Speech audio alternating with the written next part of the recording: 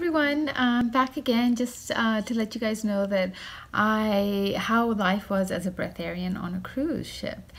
And before I went on the cruise ship, I thought that it was going to be the middle of the Caribbean Sea and it's going to be completely relaxing and I was just going to have this completely like all kinds of vegan liquid options and and I thought I would get so much prana I would just like uh, be on on the ship and just absorbing all this energy um, and I thought that a window uh, room would do and I didn't really think that a balcony was necessary so I just got a window room. It was quite the opposite. I mean even though I was in the middle of the Caribbean Sea I just um, there was just so much different kind of energy everywhere that I just really didn't feel connected to the ocean or to the earth. It was just uh, there was always loud music, and then even when I would go up on the on the uh, deck, there was just people everywhere, and I just didn't feel the connection to the ocean at all, uh, unlike what I thought I was going to feel. So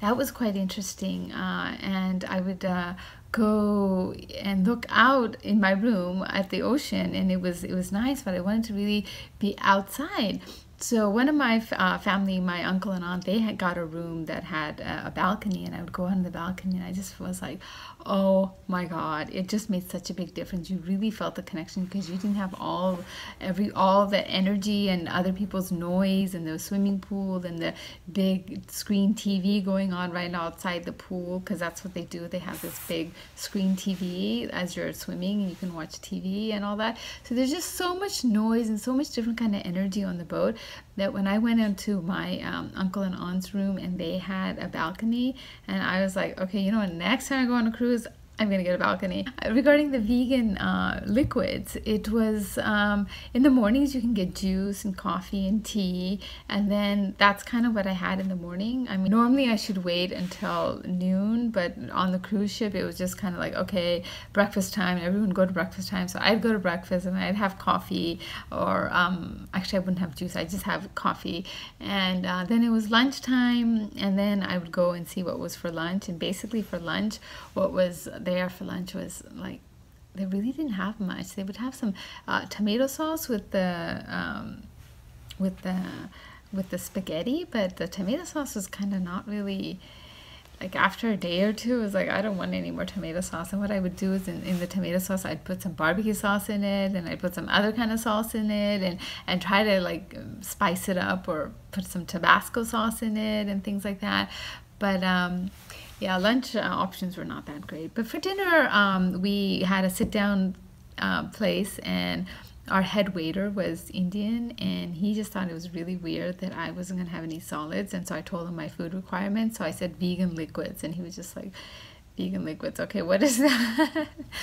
and then he looked at me in a really shocked way. He's like, "Well, well, how do you live? Like, how do you get the energy to um, live?" And then I was like, um, I said through prana, and he was Indian. He was like, okay, through prana.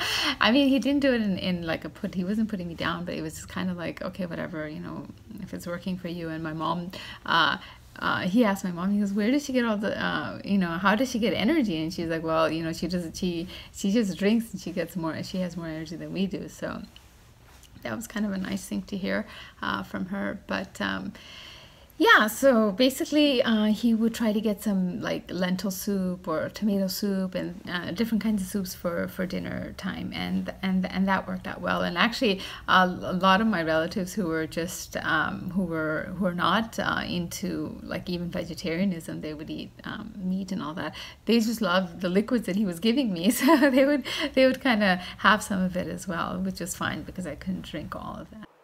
I also just want to show you some of the highlights of the places we went. One of the places we went was uh, Maho Beach, and that's actually where you feel like the plane is going to come and hit you. So it's about to land, and it goes right over your head. I'm trying to videotape it to show you, uh, but um, kind of showing you here. There you go. The plane is landing, so it's kind of a weird feeling.